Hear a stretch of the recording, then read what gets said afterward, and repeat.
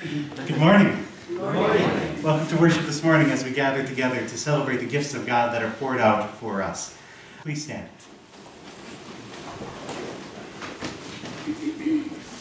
In the name of the Father, and the Son, and the Holy Spirit. Amen. Almighty God, to whom all hearts are open, all desires known, and from whom no secrets are hid, cleanse the thoughts of our hearts by the inspiration of your Holy Spirit, that we may perfectly love you and worthily magnify your holy name. Through Jesus Christ our Lord. Amen. If we say that we have no sin, we deceive ourselves, and the truth is not in us. But if we confess our sins, God, who is faithful and just, will forgive our sins and cleanse us from all unrighteousness.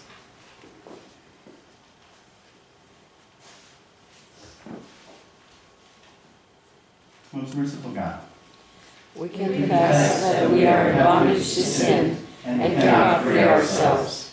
We have sinned against you in thought, word, and deed, by what we have done and what we have left undone. We have not loved you with our whole heart. We have not loved our neighbors as ourselves.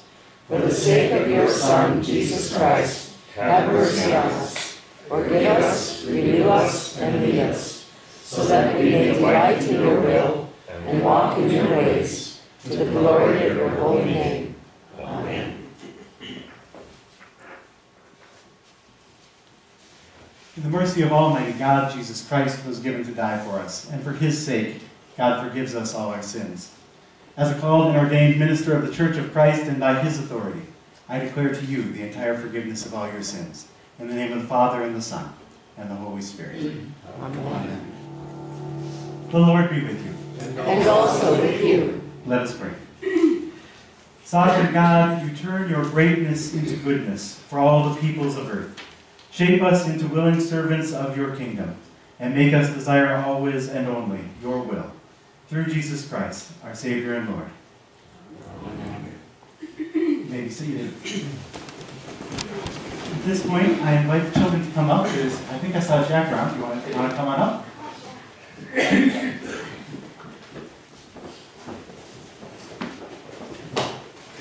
Welcome, welcome.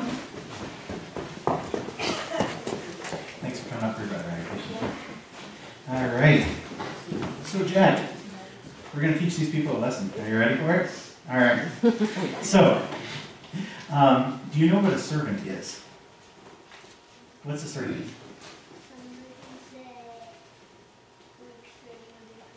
Yeah, somebody that works for another person, somebody who serves, somebody that helps another person. Uh, so you can be a servant in all kinds of ways. You can be a servant by uh, helping out with uh, housework, by helping out with schoolwork, by helping out with all different kinds of things. I want you to think back to this week and think of a time when you were a servant. Can you think of a time when you were a servant this week? Okay, when?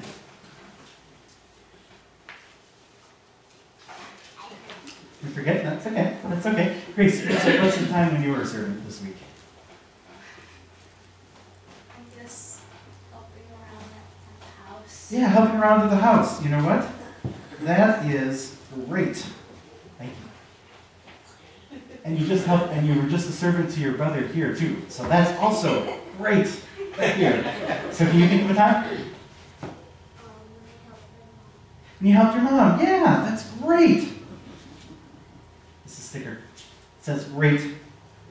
And today in the gospel lesson, uh, I'm going to be preaching on Job, but you're going to hear in the gospel lesson that Jesus is going to say, whoever wants to be the greatest must be servant of all. And that's because ultimately, Jesus, whenever you're a servant, whenever you help people, whenever you work to make things better for others, you're reflecting who Jesus is. And you're showing them who Jesus is. And because Jesus is the greatest of all, when you reflect him, you do great work. And so, I have these here, have some stickers that I would, you know, I'm going to give to you. And I would like for you to give them out this week whenever you see someone serving. Somebody serving somebody else, you tell them, that's great. Because that's uh, what Jesus wants us to do, because that's what Jesus did. And the good news is that, and the good news is that um, Jesus came to give everything that he had, to be a servant so that we could live, and so that we could have abundant life, and so that we can help to serve others. And so let's pray. Gracious God, thank you for today. Thank you for life and for breath and for coming here to serve us and to care for us. Help us to care for others and to celebrate it when it happens. In Jesus' name, amen. Thanks for coming up. The Gospel according to Mark, the 10th chapter. Glory to you, O Lord. James and John, the sons of Zebedee, came forward to him and said to him, Teacher, we want you to do for us whatever we ask. And he said to them, What is it you want me to do for you? And they said to him, Grant us to sit, one at your right hand and one at your left, in your glory. But Jesus said to them, You do not know what you are asking. Are you able to drink the cup that I drink? or be baptized with the baptism with which I am baptized? They replied, We are able. Then Jesus said to them, The cup that I drink, you will drink, and with the baptism with which I am baptized, you will be baptized. But to sit at my right hand and my left is not mine to grant, but it is for those for whom it has been prepared. Now, when the ten heard this, they began to be angry with James and John. So Jesus called them in and said to them, You know that among the Gentiles, those whom they recognize as their rulers lord it over them.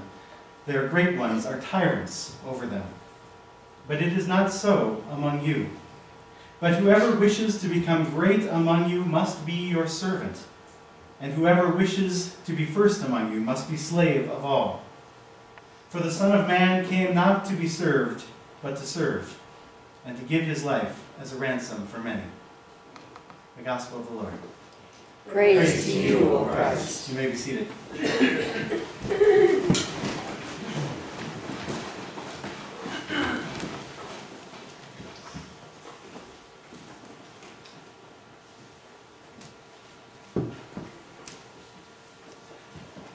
Why do bad things happen to good people?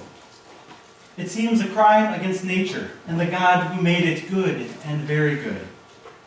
Why do bad things happen to good people? It's enough to make you wonder if God is good, or even if God is there. Why do bad things happen to good people? It's a question we all ask in one form or another at one point or another in our lives. It's a question I've heard in hospitals and homes, in classrooms and offices. It's a question that's been on my own lips many times as I've floundered or failed or simply scraped along the jagged edges of my own broken hopes, dreams, and expectations of this life. Perhaps you have too. Why do bad things happen to good people? The question is a thick jungle with many entry points, few good exits, and many dead ends. But we are not left without guides to help us through. The book of Job sits near the middle of the Bible and aims at the heart of this question. Written as part of our wisdom tradition, think of it as a giant parable that finds its truth not by historical facts, but by speaking to the truth that we have all experienced through story. The book falls into four major parts. Part 1 Setting the stage. Job is the picture of a pious and righteous man.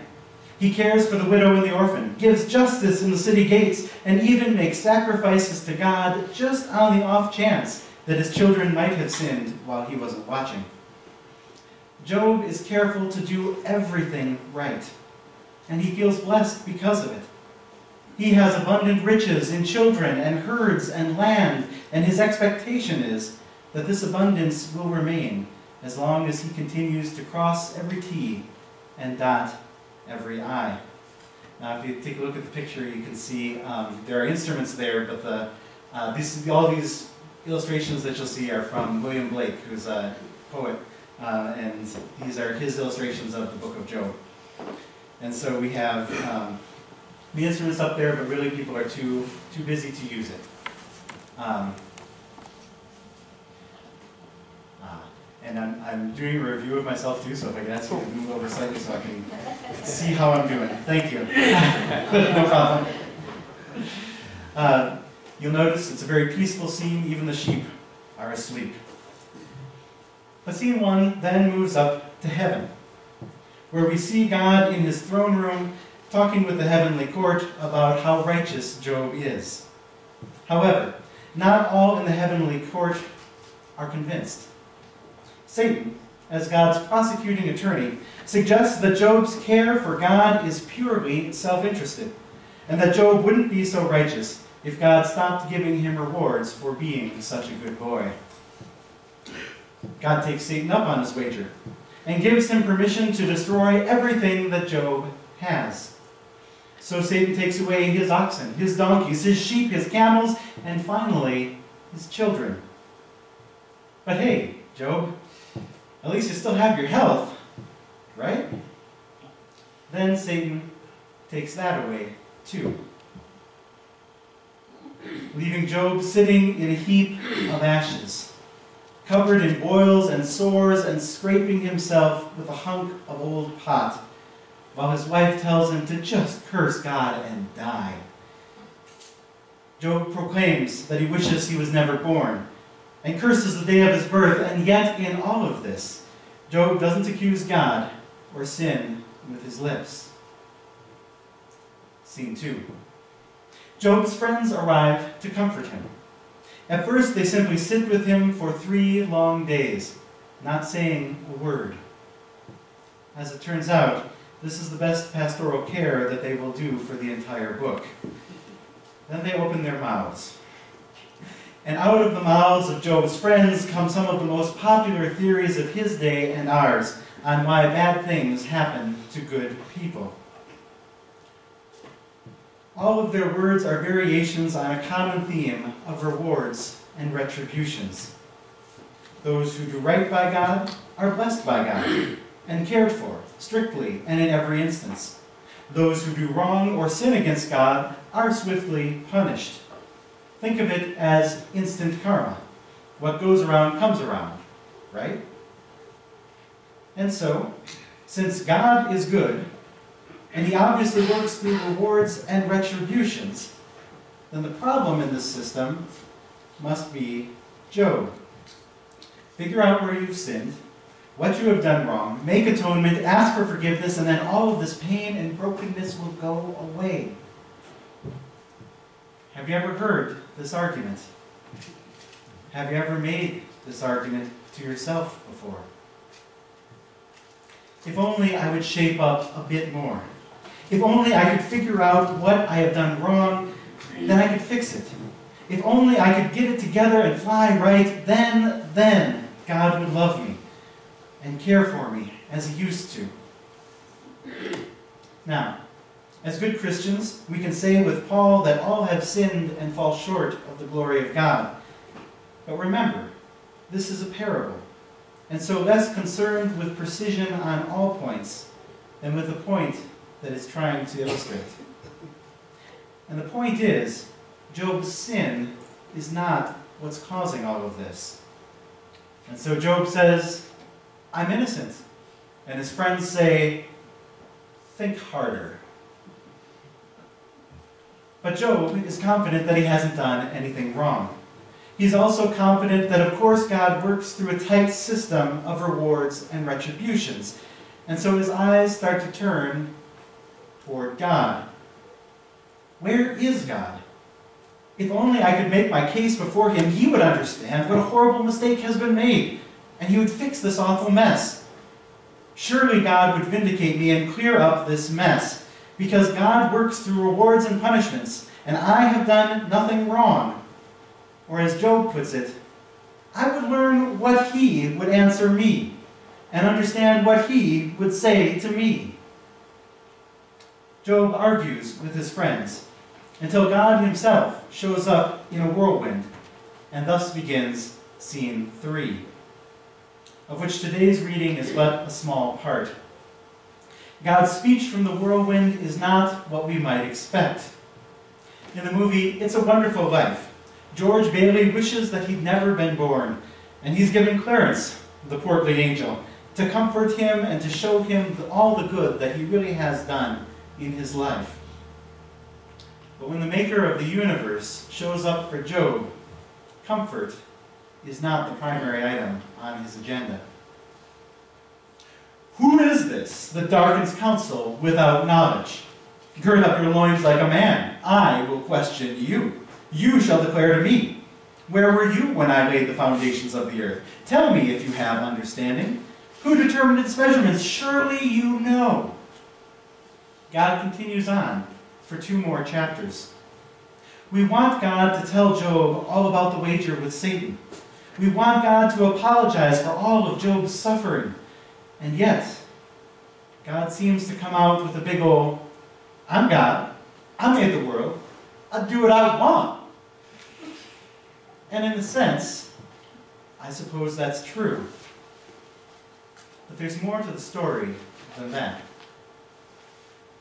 In God's speeches, he takes Job on a whirlwind tour of all of his creation, talking with great pleasure about the nature that he has made in its beauty and wildness, and how he loves the creatures that Job would never have even thought of, things that never would have even crossed his mind. Even Job, he's talking about animals that even Job would consider dangerous to him and to his world order. God lays out a universe he has made in which the foundations are sure. Chaos is allowed and welcomed, and yet also given limits. As it turns out, this world is not all about Job and his righteousness, or lack thereof. And God will not be a simple vending machine where our good works go in and blessing comes out. God shows Job a world that was made for the sake of God's love of creation, rather than simply constructed for Job's use.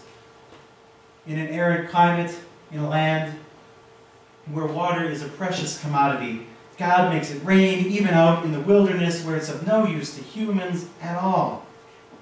This world was not made for humans, but humans were made to be a part of this world. A world of freedom and grace, more than a world of reward and retribution. A world where God is not standing vigilant watch as a cosmic hall monitor, scanning for any possible infraction of the rules, but rather one who loves his creation in all of its forms, including the ones that make no sense to Job. God loves all that God has made, even the chaotic elements that are a threat to us. God sets limits so that chaos won't overwhelm everything, but He gives it its place. And that means that sometimes bad things will happen to good people for no particular reason at all.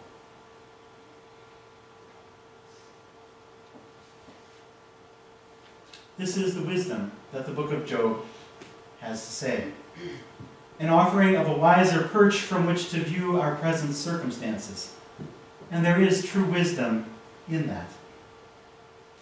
The book of Job ends with scene four, in which Job is given everything back plus more. His new perspective means that he doesn't live as cautiously or pretentiously as before, but embraces all that God has given as a gift, rather than something that he can and has earned, or something that he can control and maintain through manipulating God. It's an if we shadows have offended, think but this and all is mended moment, where you are allowed to forget that this whole book ever happened, glean from it what you can. And that is where the story of Job ends. But that's not where God's story ends. While I believe that there is great truth and wisdom in the book of Job, it is not the fullness of God's answer to the suffering of his people. For in the fullness of time, God sent his Son to walk among us, to be the truly good one to whom bad things happen. to step into that chaos that is natural and that chaos that our sin has created, and to bear it so that we never need to bear it alone. To come not to be served, but to serve and to give his life as a ransom for many. To show us that his love is stronger than our ability or inability to get it right, and to open up a way to eternal life. So that when the natural chaos of this created world and the sinful chaos that we have created for ourselves do finally overwhelm us, even then, His love will hold us fast and bring us safely home. This is good news. And so we say, thanks be to God. The Lord be with you. And also with you. Lift up your hearts. We lift them to the Lord. Let us give thanks to the Lord our God. It is right to give our thanks and praise. It is indeed right, our duty and our joy, that we should at all times and in all places offer thanks and praise to you, O Lord, Heavenly Father, through Christ our Lord, who on this day overcame death and the grave, and by his glorious resurrection opened to us the way of everlasting life. And so, with the church on earth and the hosts of heaven, we praise your name and join their unending hymn.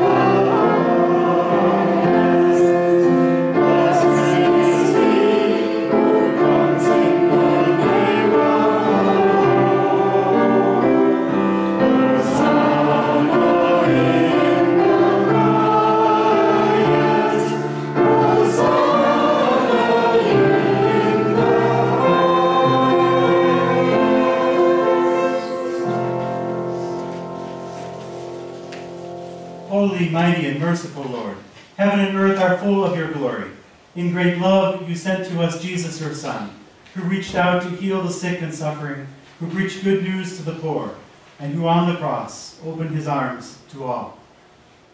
In the night in which he was betrayed, our Lord Jesus took bread, gave thanks, broke it, and gave it to the disciples to eat, saying, Take and eat. This is my body given for you. Do this in remembrance of me. And again, after supper, he took the cup gave thanks and gave it for all to drink, saying, This cup is the new covenant in my blood, which is shed for you and for all people for the forgiveness of sins. Do this in remembrance of me.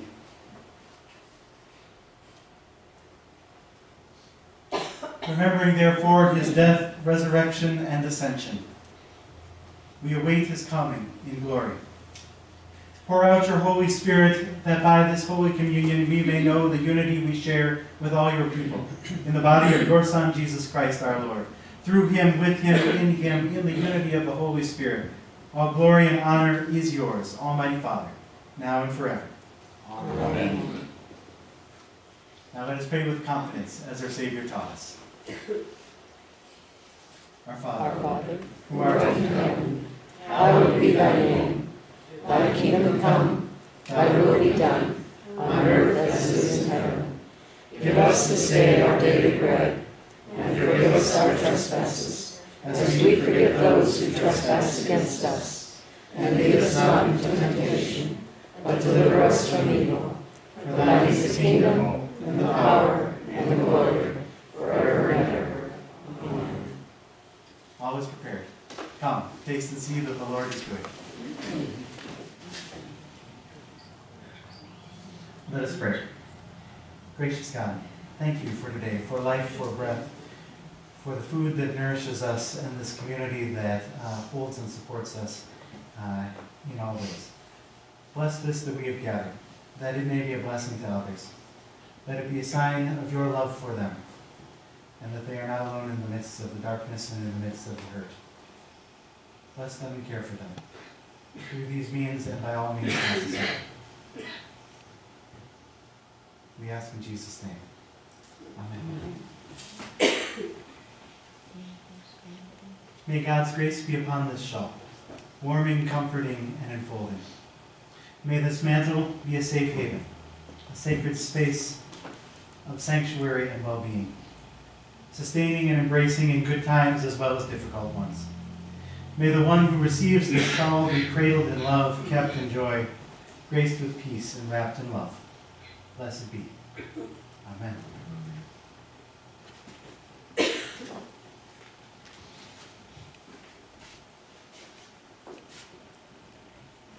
And now may the Lord bless you and keep you. May the Lord make his face shine upon you and be gracious to you.